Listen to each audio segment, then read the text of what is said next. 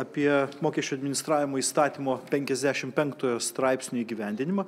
Tai vyriausybė šiandien priėmė nutarimą, kaip įgyvendinti tai, ką yra nustatęs dar pernai metais Lietuvos Respublikos Seimas. O Seimas yra nustatęs, e, kad finansų įstaigos turi pateikti valstybiniai mokesčių inspekcijai E, pasibaigus metams e, minimalius duomenis apie žmonių ir įmonių tose įstaigose turimas sąskaitas. Būtent jų likutį gruodžio 31 dienai, įplaukas bendrą sumą per visus metus ir skolinius įsipareigojimus to asmens šitam konkrečiam bankui ar kredito unijai. Tai ir trys skaičiukai apie kiekvieną asmenį, ne tik piliečius, bet taip pat ir įmonės, E, bus teikiami, kaip vyriausybė nustatė, už 16 metus e, iki 17 metų birželio pirmos dienos, e, tai likutis ir, ir skoliniai įsipareigojimai. Na, o apyvarta, tai yra bendras įplaukas į sąskaitą, tuos duomenys pradės mokesčių inspekcija gauti 18 metais už 17 metus. Taip, tai yra galutinis nutarimas, kaip tą padaryti, kadangi Seimas įpareigojo vyriausybę nustatyti, kokia tvarka tas Seimo priimtas mokesčio administravimo įstatymo pakeitimas bus įgyvendintas.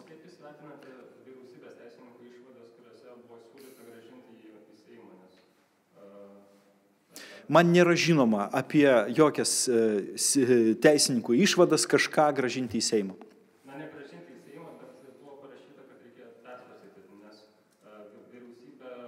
Detaliai aptarkim e, jūsų neiškumus e, tada asmeniškai.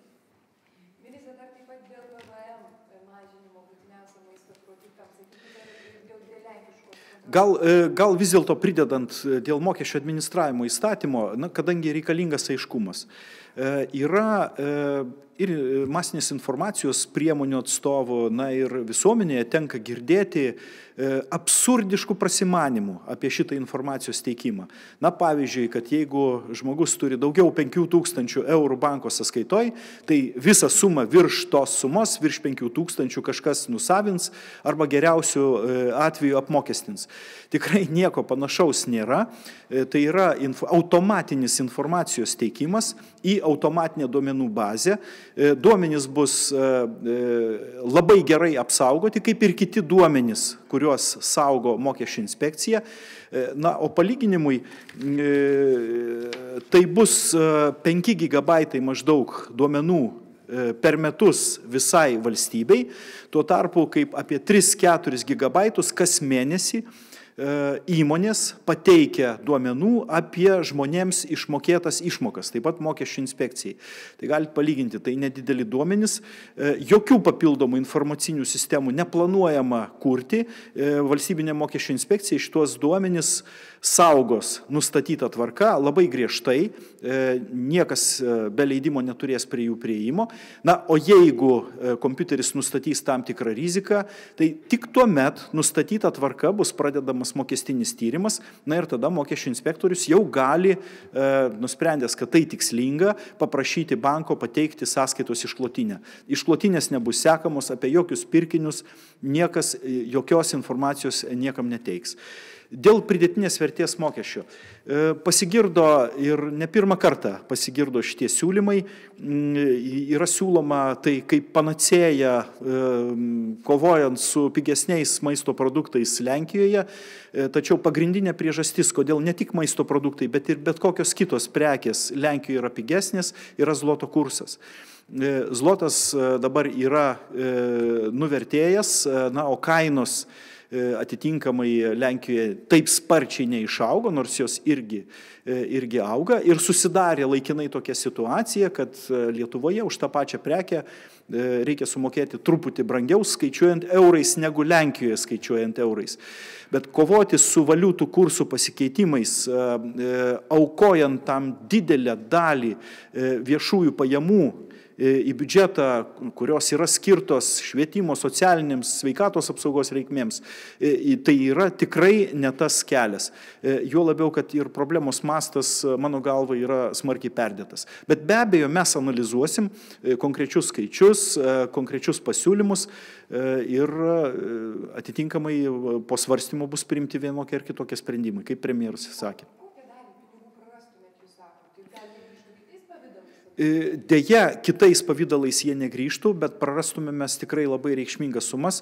Nenorėčiau dabar mintinai sakyti, pačiu artimiausiu metu finansų ministerija planuoja paskelbti schemas, grafikus, diagramas, kiek mes mokesčių surenkame, kur tuos mokesčius išleidžiame ir tame tarpe bus pats, mano galva, pats įdomiausias grafikas, o kiek mes nesurenkame mokesčių dėl Lietuvoje įteisintų mokesčių lengvatų. Tai artimiausiu metu prašom apsilankyti Finansų ministerijos tinklapyje.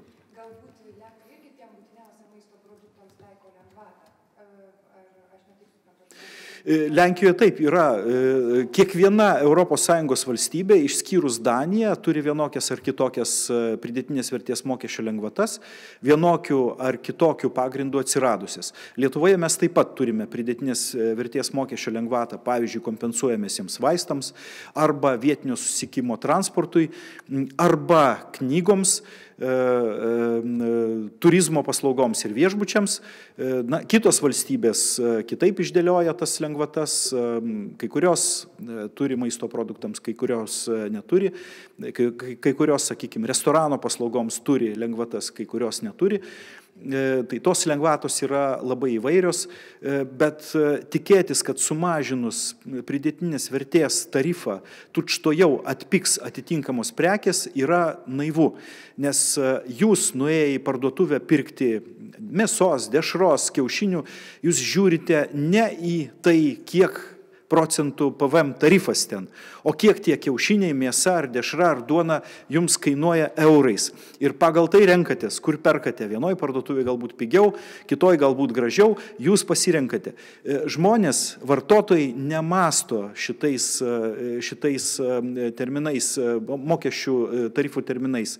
Dėl to patirtis rodo, kad sumažinus pridėtinės vertės mokestį, skirtumą, kurio negauna valstybės biudžetas, pasidalina gamintojai gauna nedidelę dalį, didžiąją dalį gauna tarpininkai ir prekybininkai.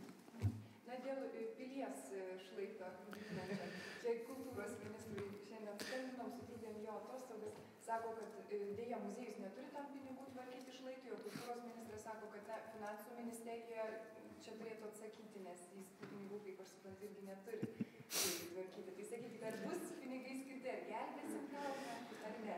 Kalną, kalną be abejo gelbėti reikia, reikia iš tikrųjų labai rimtai vertinti situaciją, kokia yra. Be abejo reikia, kad specialistai, inžinieriai pasakytų, kokių priemonių reikėtų imtis ir tik tuomet bus galima įvertinti, kiek tai kainuos. Ir tai žinoma yra valstybinis klausimas, finansų ministerija nenusišalins nuo jo sprendimų. Ar jau numatyta tam skirti pinigų, ar kol kas net nekalbėti? Kol kas dėja tik pranešimai spaudoje, aš nesu matęs jokių inžinierinių analizių, jo labiau paskaičiavimų, kokie siūlymai taisyti situaciją, kiek kainuotų. Bet jo žymiai kainuoja pigiau turbūt negu paties kalno ten šlaitų tvirtinimas ar dar kažkas. Ne, tai yra valstybinis klausimas, mes visus valstybinius klausimus labai rimtai svarstome.